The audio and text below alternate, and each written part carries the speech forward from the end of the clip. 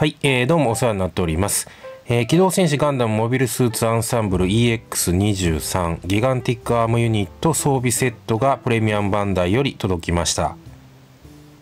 はい、えー、こちらは2020年の7月受付、2020年の12月発送、販売価格が6600円となっています。はい、えー、ということで、えー、機動戦士ゼータガンダム公式外伝アドバンス・オブ・ゼータ・ティターンズの旗のもとによりガンダム TR1 ヘイズル・アウスラギガンティック・アームユニットがモビルスーツアンサンブルに登場。大ボリュームのギガンティックアームユニットがディテール豊かに立体化されています。指はそれぞれ可動式となっておりちょっとしたニュアンス付けも可能。ギガンティックアームユニットは取り外しも可能。ヘイズル・アウスラは胴体部分に加えバイザーも新規造形となっています。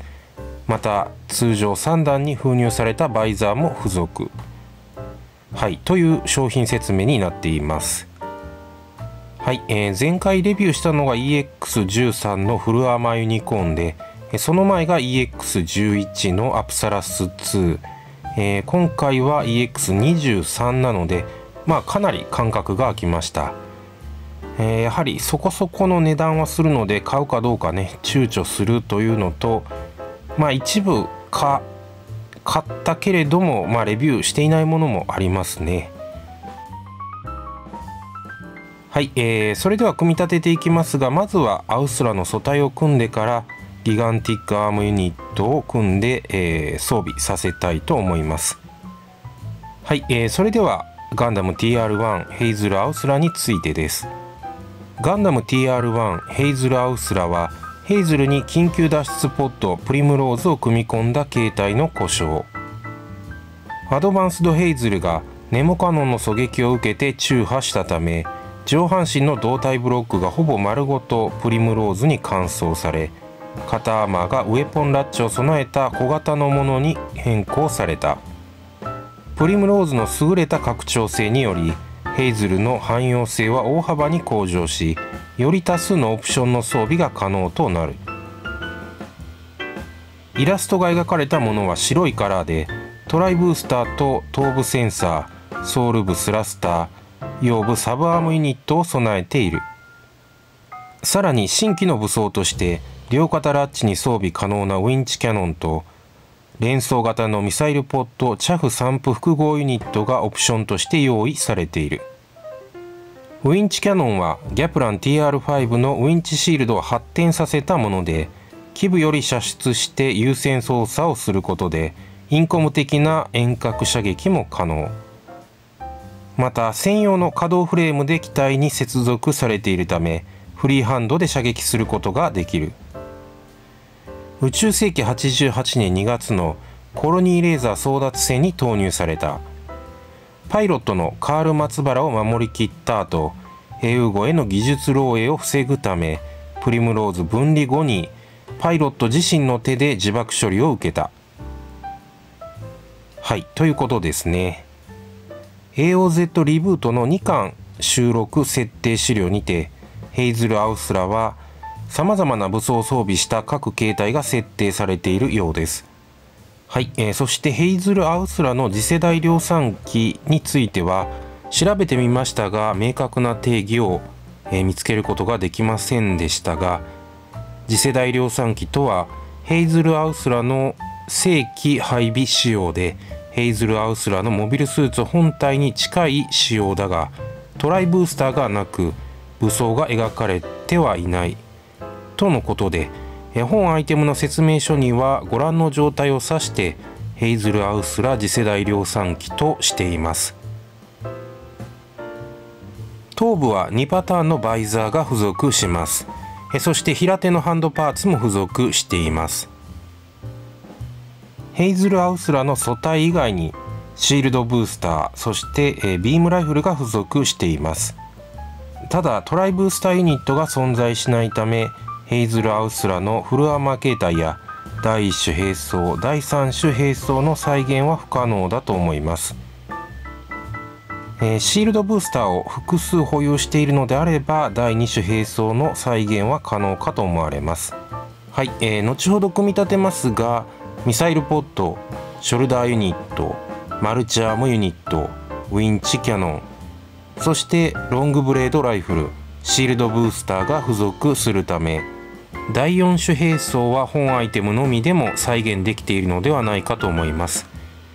そしてこの第4種兵装にサイコガンダムの両腕を装着したものがヘイズル・アウスラのギガンティックアームユニット装備となります。はい、えー、それではギガンティックアームユニットについてです。コンセプトプランの一つ。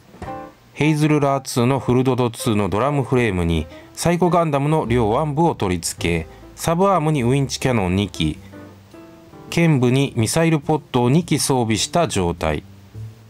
サイコガンダムの両腕はギガンティックアームユニットと呼称されるが実際には運用されておらず別プランとして優先武器に使用可能なサイコガンダム M2 の両腕も用意されていた。ここから派生は進んでサイコギャプランやガンダム TRS、LR ライラー、ガンダム TR6 のギガンティック形態などに発展している。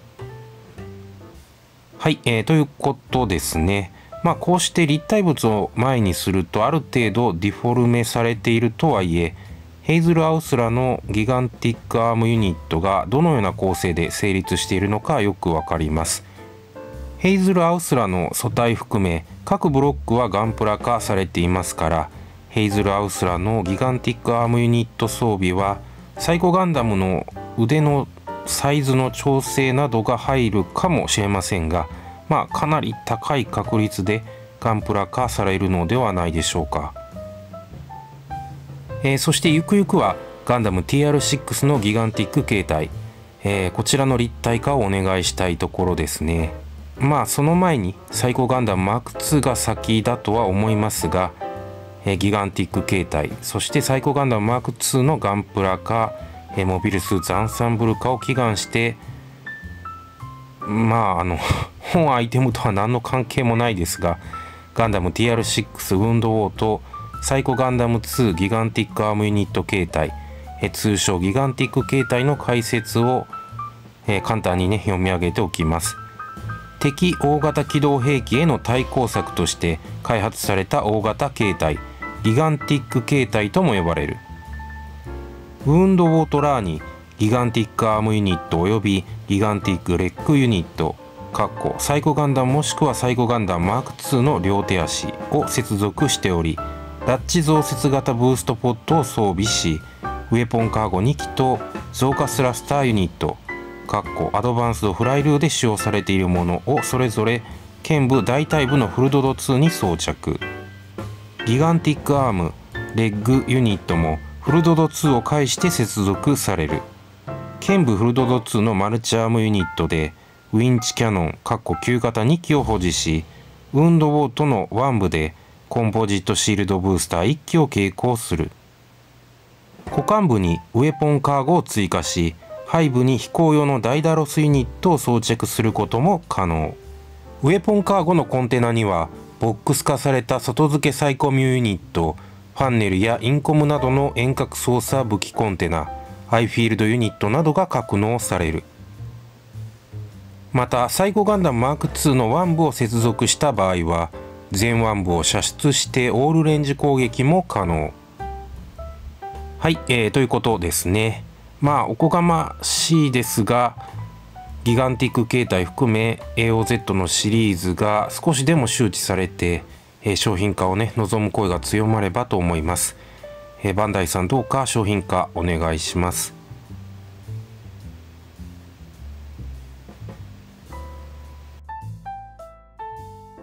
はい、えー、稼働はご覧の通りですね。ヘイズル・アウスラー素体は従来のアンサンブル同様の小さいながらもポージングの幅の広いアイテムになっています。ギガンティックアームユニットは肩、肘、手首に可動軸が入り、指も付け根で個別に稼働。アウスラ素体だけでは表現できないような躍動感あるポージングもギガンティックアームユニットと組み合わせることで可能となります。本アイテムには専用のスタンドが付属していますがスタンドを使わなくてもうまくバランスを取れば自立は可能です。はい、えー、サイズ感はご覧の通りとなります。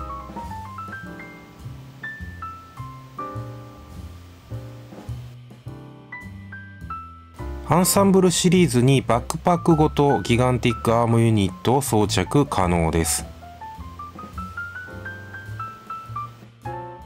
はい、えー、ということで今回のレビューそして今年の動画の更新もここまでとさせてもらいます、